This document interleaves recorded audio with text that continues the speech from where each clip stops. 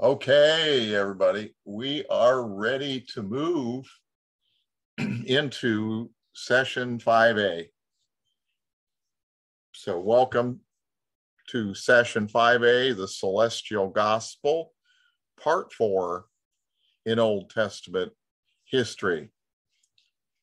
we'll get our technology going here. In part three, we covered the first four signs, one third of the 12.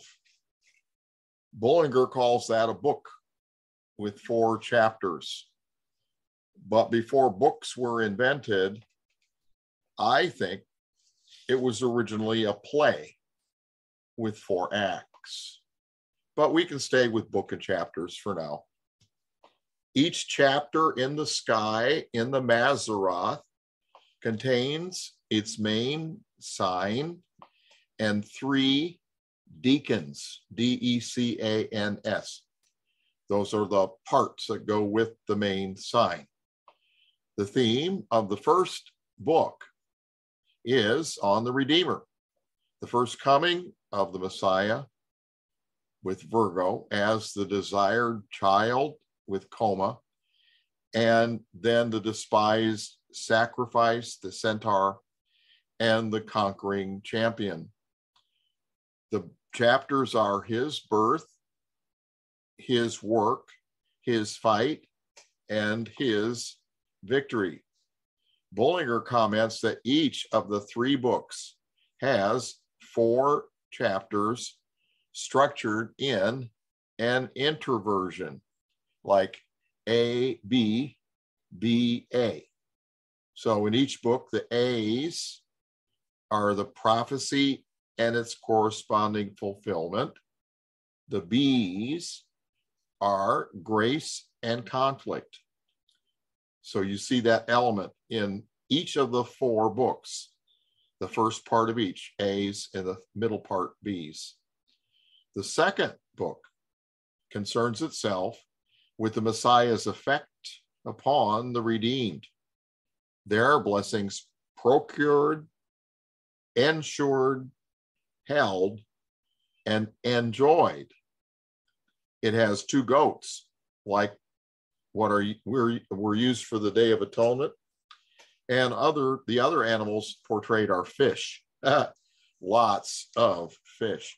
So the first constellation of the second book we see on the chart here is Capricorn. So if you have your cell phone apps from the last session, you can follow me along through the sky, or you can use the star charts. So remember what you did with your cell phones when you entered the program and you found the horizon, and then you moved to the east where the meridian intersects the horizon. And so then we're going to move up and down the meridian. Now, what you can do on your star chart program on your cell phone is when you touch the screen, then it stops moving when you're moving. And then you can drag your finger and the sky on the screen moves under your finger. So you can coast around the meridian like that from constellation to constellation. So if you can coast around until you get to Capricorn, that's what we're going to start with. And then you can move up and down from Capricorn and see the decans those parts that there's three parts for each main sign. Okay. So the symbol for Capricorn, the first part of that constellation is a goat, which is a sacrificial animal. And in all the pictures, it's lying down with one leg folded underneath it, like it is dying. The Hebrew name of the constellation is Gedi, the goat. the star names within it reflect that also. The bright star above the head is called Salad al-Nashra, the record of the cutting off. Um, no, that one's called El Gedi. I'm sorry, I skipped. El Gedi the goat. Other stars are named Al Dabila, the sacrifice slain, and Ma'asad, the slaying. And then we get the Salad al Nishra, the record of the cutting off. Deneb al Gedi, the sacrifice goat comes. Those are all stars in there that tell the story. The back half of the same symbol of the goat is depicted as a fish tail. So Capricorn is half fish and half goat. now that's strange for sure, but it is an anticipatory symbol for this book in the sky because fish show up later. That fishy symbol is an element of prophecy, which is later fulfilled. And the decan constellations are Sagitta, the arrow, Aquila, the eagle, and Delphinius, the dolphin. A dolphin is symbolic symbolic of a dead one rising again because they leap out of the ski out of the sea like that into the sky. So here are the decans of Capricorn, and they are all grouped together. So I said the first decan is Sagitta, the arrow. The Hebrews call it Sham, destroying. As the story was told, this was the arrow that slew the second decan, Aquila, the eagle. Since an eagle is thought of as a majestic, noble bird, it is symbolic of the Savior. And so in this depiction, it is head down, the Savior falling in death. The star names tell that story. All shame, the bright, all care, the pierced or torn, Al Tair, the wounding covered in blood, and Al Okal, the wounded in the heel. So clearly, from the star names, the eagle is falling in death. But the dolphin symbolizes the resurrection. Its head is upward, while the eagle's is down. Its star names are descriptive of splashing water, dalaf, water pouring, Skaluin, swift water. Seiss, in his book, describes this chapter beautifully. Quote, this strange goatfish dying in its head, but living in its afterpart, falling as an eagle pierced and wounded by the arrow of death, but springing up from the dark waves with the matchless vigor and beauty of the dolphin, sinking under sin's condemnation, but rising again as sin's conqueror, developing new life out of death and heralding a new springtime out of December's long, drear nights, was framed by no blind chance of man. The story which it tells is the old, old story on which hangs the only availing hope that ever came or ever can come to Adam's race. That's beautiful oratory, isn't it? The next constellation is Aquarius. Aquarius is the water bearer, which continues the theme of water and fish, but it's pouring out blessings. The star names document the outpouring. The brightest star, the Alpha star in Aquarius, is named Sa'ad al Malik, the record of the pouring forth. Now, that Alpha is an astronomical naming convention that is in use today. The brightest star in any constellation is that constellation's name plus an alpha in front.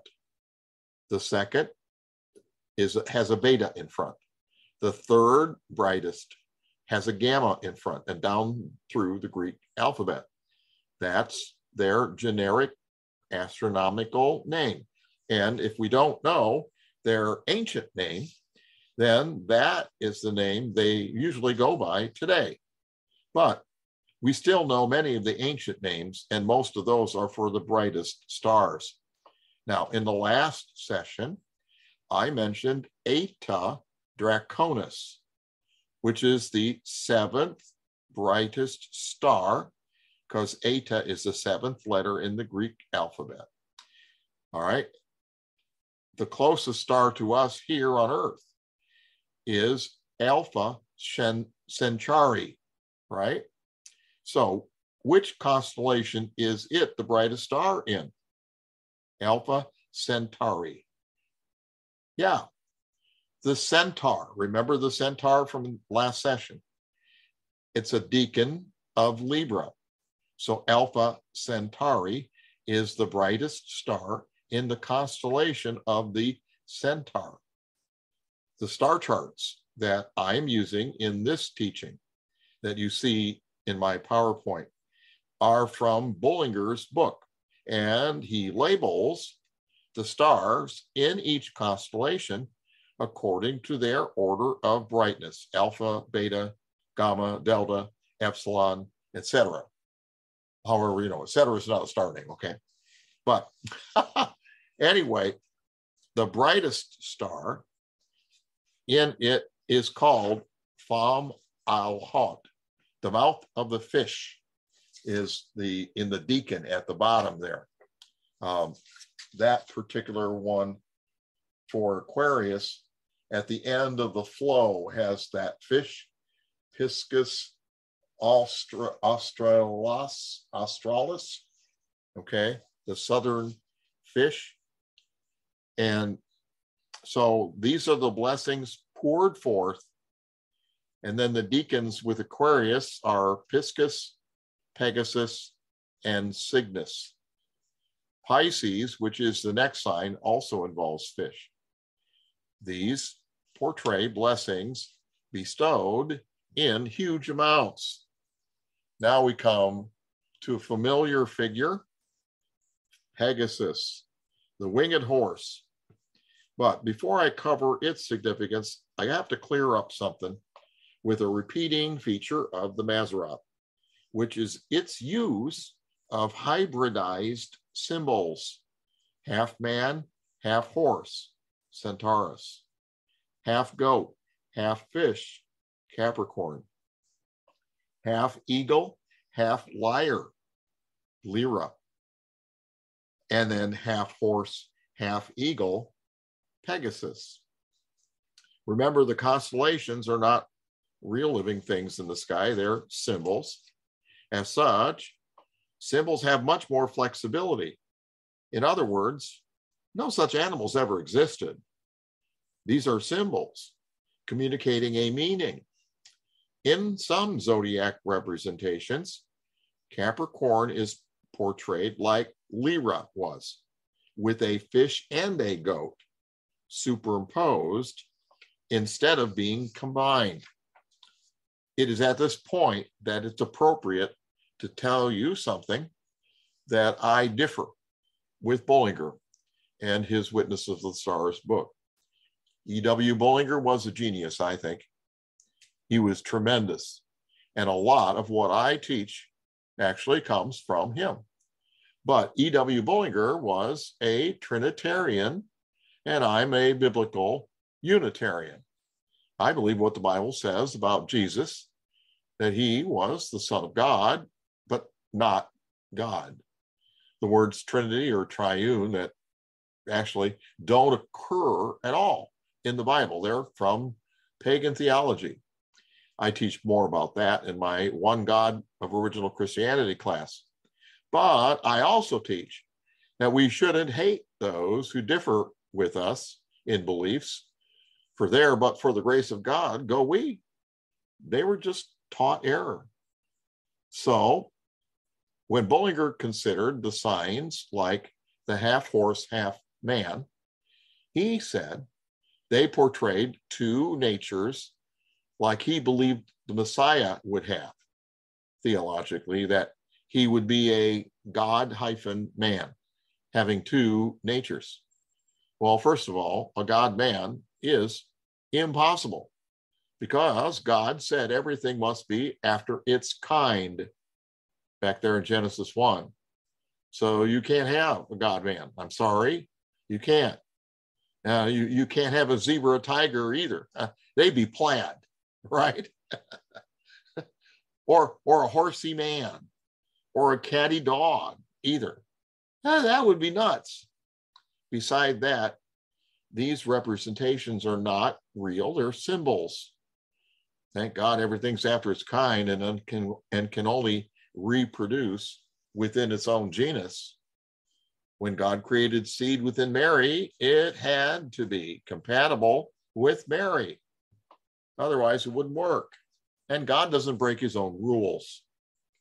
But I'm still concerned about what Bullinger said concerning the two natures in the sky, because that still may seem to some to be a powerful argument in favor of that doctrine. So, to silence the yes but crowd, let me say this. You know what? Bullinger violated his own rules. He did what he accused the Greeks of. They both were anachronistic in that respect because they applied their own newer theology to the constellations and ignored the messages from the ancient star names in that way. Our guide has been the star names. And there are no star names with the word God in them for any of those hybrid symbols. Let me repeat that. We've been following the star names to tell us what the things symbolize, right?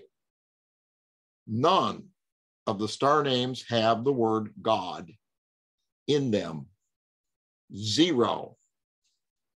I mean, if that were true, if he were a God man, if he did have two natures that was communicating that, God and man, and the constellations were designed to indicate that in their symbolism, then the star names would have to say so.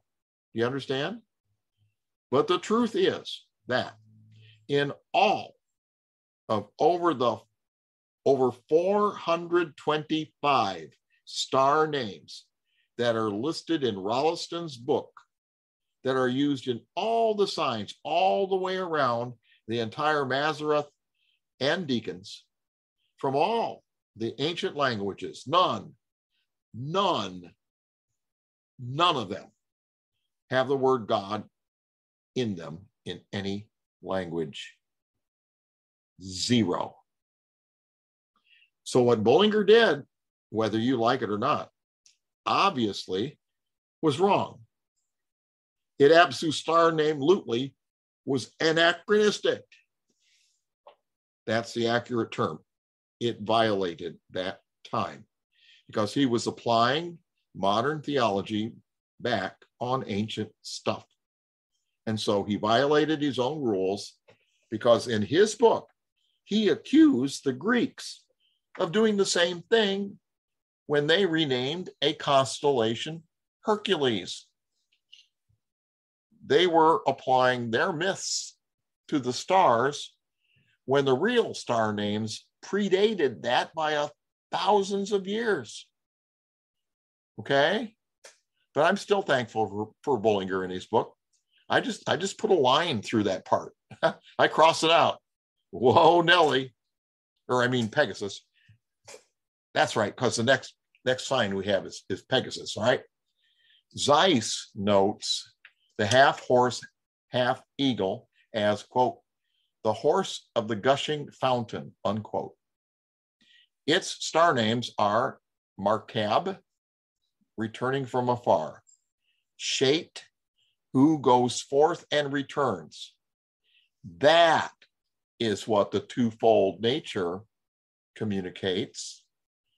The two comings of the Messiah the same thing was in one of the other forms earlier that had two natures. All right. The identifying star in his head is Enif, the branch. El Genib, who carries. Homan, water. Matar, causes to overflow. So this communicates he will be going and coming back swiftly with blessings. This time, when Bullinger writes on Pegasus, the winged horse, he gets the dual nature right half eagle, half horse. Why does Pegasus have wings? Wings symbolize swiftness, and horses are strong and swift. So the blessings are surely coming quickly. Bullinger got this right on page 90, and I quote, quote, these names show us that we have to do with no mere horse. A winged horse is unknown to nature. It must therefore be used as a figure and it can be a figure only of a person, even of him who is the branch, as the star Enif shows, who said, If I go away, I will come again, as the star Sheat testifies, unquote. So you see how he followed the star names there? The last decan of Aquarius is Cygnus the Swan. The blessings are surely returning. So the star names are Adige, flying swiftly, Satyr, returning in a circle, Azel, who goes and comes back quickly, Fafaj, gloriously shining forth. Wow. Do you see the record the reoccurring themes in this chapter? He is going away and circling back with blessings that is grace upon grace. The next sign is Pisces the fish. This is the redeemed blessings held in abeyance. Now, remember, Bullinger said the structure of each chapter is like A, B, B, A. The A's are prophecy and the corresponding fulfillment, and the B's are grace and conflict. So this sign is the third one in the book. So there's got to be an elephant element of conflict somewhere. The two fish in Pisces are bound together by its first decan, a band tied to their tails. And then the second decan is Andromeda, the chained woman. The third is Cepheus, the Redeemer coming to rule. So the fact that the woman is chained is that element of conflict. The Hebrew, Aramaic, and Aramaic names for this constellation all involve fish. We only now know two of the star names, Okta, united, and Al Samaka, the upheld. We don't know what which stars they are. The main sign is bound with the first decan, and that's called Al Risha, the band. The second decan is Andromeda, the chained woman. The bright star in her head is named El Firatz, the broken down. The beta star in her body area is Mirak, the weak. Other stars not designated, for which we know the names, are Persea, stretched, at Adhil, afflicted, Mizar, bound, and Al Mosala, delivered from the grave, from which the Greek name Andromeda is derived, set free from death. So the blessings of being set free from death is coming, but held, bound yet for a little while. Later, after Abraham learned that in him shall all families be blessed, the blessings and subsequently Pisces, the fish, were identified with Israel. But Israel did not yet exist when the story of the tar- stars was first told.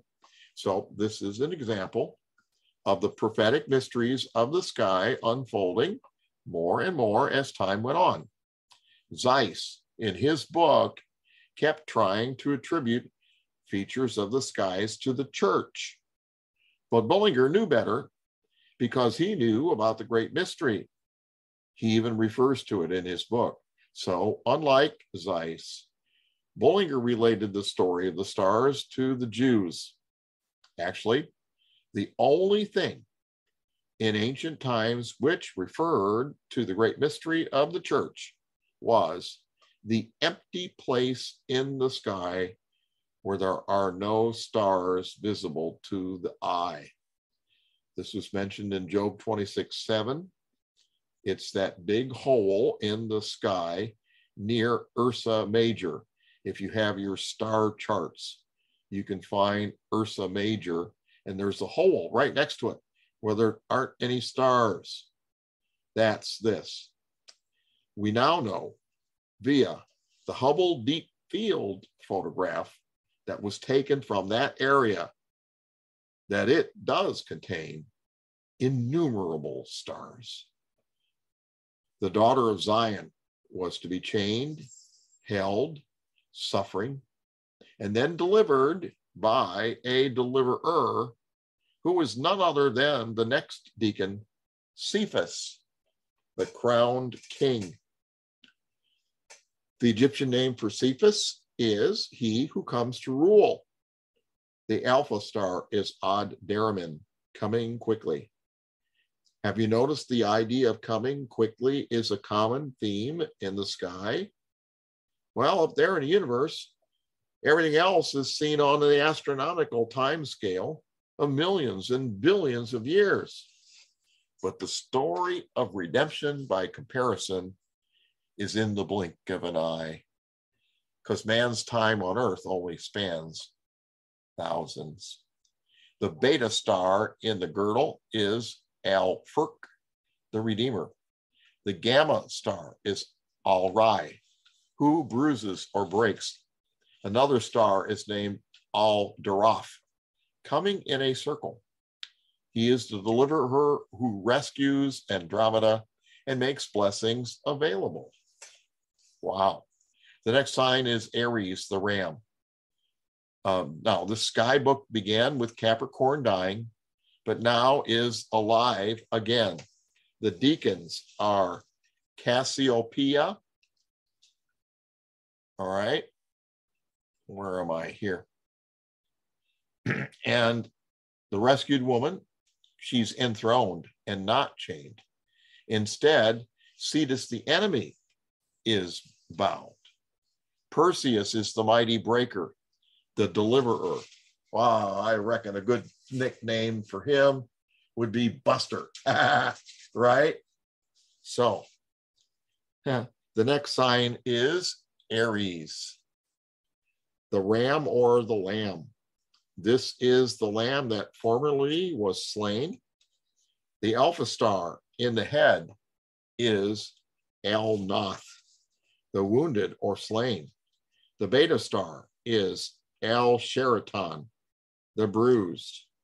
That's nature spelled backwards. No, anyway, Bullinger shows that it was not by chance that the sun was in Aries when Jesus, the Lamb of God, was slain for our sins. That's interesting. Cassiopeia is the first decan of Aries. The woman is rescued and now preparing for her husband, her deliverer. Now, Cassiopeia is easy to find in the night sky. It was one of the constellations. My father always pointed out to us Boy Scouts. It is like a big bright W in the northern sky. Now, depending upon what time of night you look at it, it could be upside down like an M. To find it, start at the Big Dipper, just like we talked about last week, and follow the two Dipper stars that point to Polaris. All right. So those are the stars that are opposite the handle. You follow the imaginary line made by the two stars that are opposite the handle in the Big Dipper, and that will point to Polaris, like it shows in the diagram on the chart here. But now keep going. About the same distance from, from Polaris, you'll find the that is uh, Polaris is from the Big Dipper, but on the other side is an unmistakable bright W of Cassiopeia's chair. All right. Now, on your planetarium programs on your cell phones, you can search for it by name. So I'm going to tell you how to do it in SkEye. All right. The Android phone program. All right. So what you do to get to it in SkEye is you press on the less than sign in the lower right corner. And then up at the top, you'll see the magnifying glass. You click on that for search. And then up at the top, you see the another magnifying glass where it says name. So you touch that in name and then you type, you can type the name. So you start to type Cassiopeia. So C A S S, and that's enough to match. So, and then what will happen is you'll see Cassiopeia show up. So all you do is tap that, and now you will see a red circle with an arrow on it, right? And so start dragging your finger to move the sky in the direction of that arrow. And as you get closer and closer and closer to Cassiopeia, it turns green. All right. Are you seeing that? Now, if you don't have a Droid phone, if you have a um, Apple phone, there are similar ways of doing that in the programs that are on those. And so you can find Cassiopeia on the Droid phone in SkEye. When you get to Cassiopeia, right now, it looks, it does look like a W. It looks like a chair that's upside down. All right. So turn it around, turn it around on your cell phone. So then you have, it looks like a chair with a bent back. That's Cassiopeia's chair. All right. And so to see the W, because when you look up in the sky, you will see a W and you won't see a chair as much because the front star on the front of the chair is dimmer than all the rest. And on the phone, it has it connected with lines. But if you mentally erase those two lines that run to the front of the chair and down the leg, and then connect the two bottommost stars on the legs, then you'll have your W. All right. So, because those stars are very bright and they make a W. The woman earlier was bound and now she is freed. The Arabic, Arabic or the Arabic name for this asterism is the freed. That's also the name of the alpha star, Al Schrader. This is the bride, the lamb's wife. Again, Bullinger correctly alludes to this sky prophecy, referring to Israel, not the church, because the church was still hidden in the great mystery. This actually solves the bride and body conundrum. For in its origins, the woman, in all her forms, the virgin, the oppressed, and the betrothed woman, is all Israel. So the bride is Israel, not the church. The second decan of Aries is Cetus, the sea monster, the great enemy that's bound. The tables have now been turned on the enemy. Instead of the woman being bound, the adversary is bound. And the at the alpha star is Menkar, the chained enemy. The beta star, Difada, means overthrown. The star in the neck is called Mira, the rebel. We're talking about the Cetus constellation. And that star in the neck is a variable star that actually disappears. every so often for about 15 days and then reappears. Something strange is going on there. And then Perseus is the other decan, is the breaker who delivers. He's the redeemer. And so his stars are the Alpha, Merphach, who assists the Beta star in the severed head of the enemy is Algol, rolling around. Ooh. The Gamma star in, is in the shoulder, Al Ganib, who carries away, and the name star in the foot, Athik, who breaks. Now, we commence on the last celestial book. The focus of this set of four chapters is on the coming Redeemer. The earlier books dealt with his sufferings. Now comes the glory that should follow. This is powerfully depicted by Taurus, the bull. He characterizes the Messiah coming to rule. The decans are Orion, the coming prince, Eridanus, the river of wrath, and Auriga, the shepherd. The Alpha Star in Taurus is in the bull's eye. Aldebaran, the leader. The Beta Star in the horn is Elnath, the slain. Then in his back is a cluster of stars called the Pleiades, which translates in Hebrew the accumulation.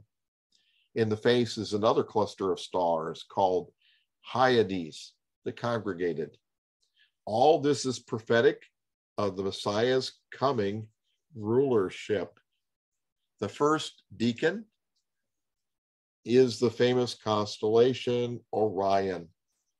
This is easily found in the sky by the three bright stars that are almost in a straight row at Orion's belt. My father always pointed these out to us too. Orion originally had an A in its name, O A R I O N, which means he was coming forth as light. The alpha star in the right shoulder is Betelgeuse, the coming of the branch. The beta star in the left foot, crushing the prey, is Rigel, the foot that crushes. The gamma star is Bellatrix in the left shoulder, which means swiftly destroying. The delta star in the belt is Al Natak, the wounded one. And a star in the right leg similarly is called Siph, bruised. So, like Ophiuchus, he has one leg or heel wounded to fit with Genesis 3:15. Other stars are named El Gabor the mighty, Al Mizram the ruler, Thabit treading on, Al Najed the prince. So this foreshadows the Messiah ruling in all his glory. The animal under Orion's left foot is a decan in another sign. So the second decan is um, Eridanus, the river of the judge. It is a fiery river of judgments flowing forth. The star names are Fate, the mouth of the river, and Akhsharnar, the end of the river. Oxha, going forth. Theman, the water. Zurach, flowing and full of stars. So this is flowing and full of star names referring to rivers, various parts of the river. Finally, the last decan is Auriga, the shepherd. He's the safety for the redeemed in the day of wrath. And his star names are Gedi, goats, Alioth, ewes, Maz, flock, or chain of goats or flock of goats. So even though a lot of this story in the stars has been lost over the ages, there still is enough to understand it, especially now supplanted by, supplemented by the written word. The next chapter in the last sky book is Gemini, the twins. Their modern names are Castor and Pollux after the Alpha and Beta stars. Lepus is the first decan, the enemy. He is trodden underfoot. The other decans are Canis Major, the major dog, and Canis Minor, the minor dog, called Procyon. But this sign is confused because everyone is ignoring the star names and trying to read their theology into the constellations. The Greeks did so, and so too the Romans. But again, even Bullinger does so with another attempt at supporting the Trinity. But Seiss reveals that the ancient Dendera zodiac portrays these as a man walking hand in hand with a woman. That instantly negates both Bullinger and the Greeks' attempts to hijack this symbol for their theological purposes, for it is the Redeemer with his bride. Remember, no star names in any part of the Mazzaroth refer to God. We have seen that theme developing about the bride all the way around the Mazzaroth. Again, one foot is hurt as in the other constellations. In his first coming, his heel was bruised. In his second, he is the head of the enemy. His first coming is referred to by the star names coming to suffer and the star in the foot named hurt. His second coming by the star names ruler or judge, Mebusta, treading underfoot, and Al Gaiuza, palm branch. So here are the decans of Gemini. The first decan is Lepus, the enemy. Now, most zodiacs portray it as a rabbit, but that doesn't make sense. Who's ever been scared of a silly rabbit, especially Elmer Fudd? The Persian and the Egyptian zodiacs portray this as a serpent, which is more in tune with the other characterizations of the adversary in this collection of constellations. The star names are Arnibo, the enemy of he who comes. So that's not a rabbit. Nibel, the mad one. Suriga, the deceiver. Rachis, the caught one. The second decan of Gemini is Canis Major. The world's zodiacs also differ in the animals portrayed, whether wolf or dog or eagle. And in this case, the star names that we know don't help us. The Alpha star, though, is famous, being the brightest star in the entire sky, Sirius, which means prince. Dad would always show us that one too. The Beta star is Nirzam, the ruler, the Delta star, Wesen, is the shining. The Epsilon star, Adhara, is the glorious. Other stars are Al Shira, Al Geminia, the prince of the right hand, and Al Habar, the mighty. The third decan is the lesser dog, Canis Minor, or wolf, or eagle, who has a star named Al Shira al Shemalaya, the prince of the left hand, and al Gomira, who completes. Its brightest star is Procyon, which means redeemer.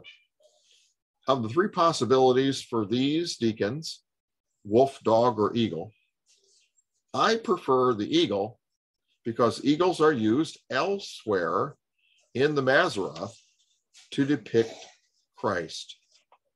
The next sign is Cancer.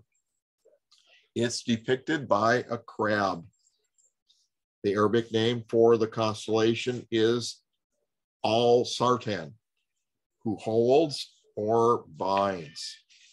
The decans are Ursa Minor, the lesser bear, and Ursa Major, the greater bear. And the third decan is Argo, the ship. And the star in the head of Cancer is Tergamine. This symbolizes um, the Redeemer's gained blessing held fast. Okay.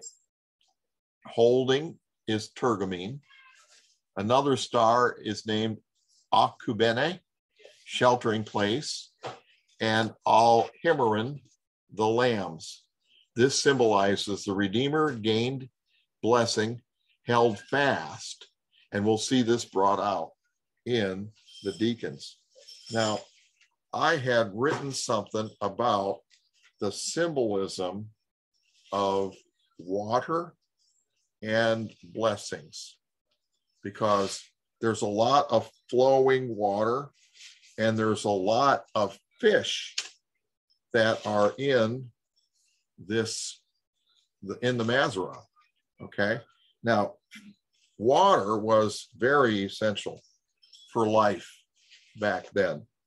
And so it would turn deserts into lush meadows, and there'd be a whole surge of life.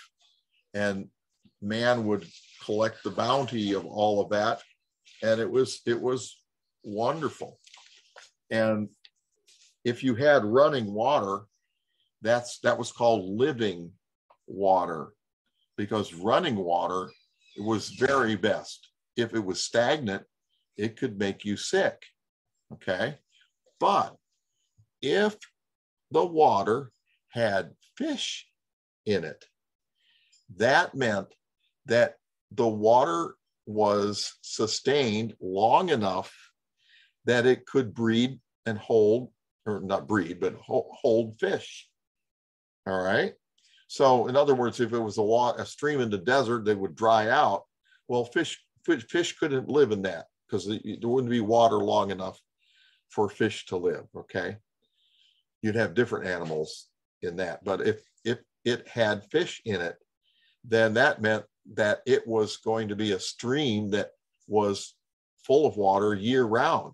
So that would have been a great source of water. So that is how water and fish indicate blessings.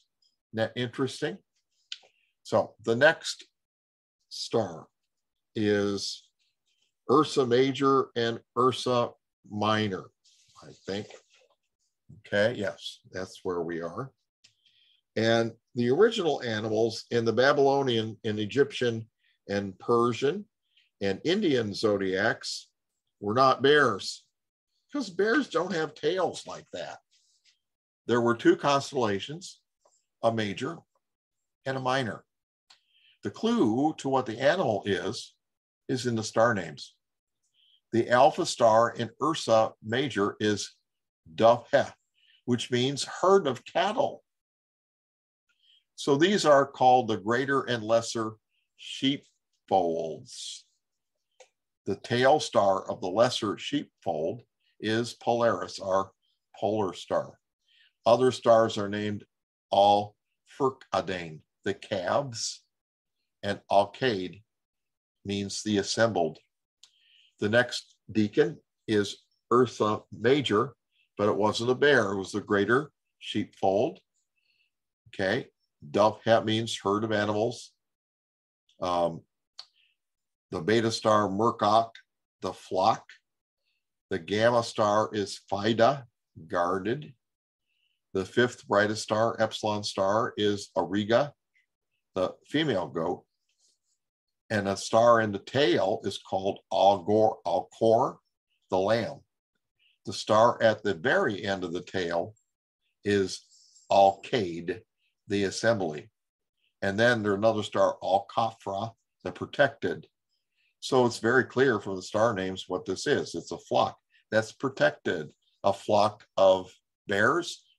bears don't flock. no, it's a flock of cattle.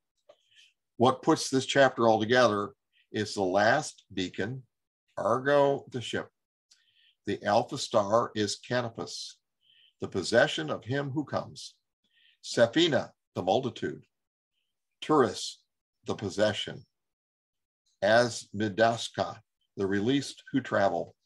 So this whole chapter, the sign with its three decans, is about blessings held fast, for they've been won for the lesser and greater sheepfolds, which represent the multitudes of believers who have been bought by his death and now are safe. The ship is full of pilgrims going home. And now we've reached the last sign, Leo. So, what I want to do before we go there is take a break. Let's take a short break and then we'll be ready for Leo.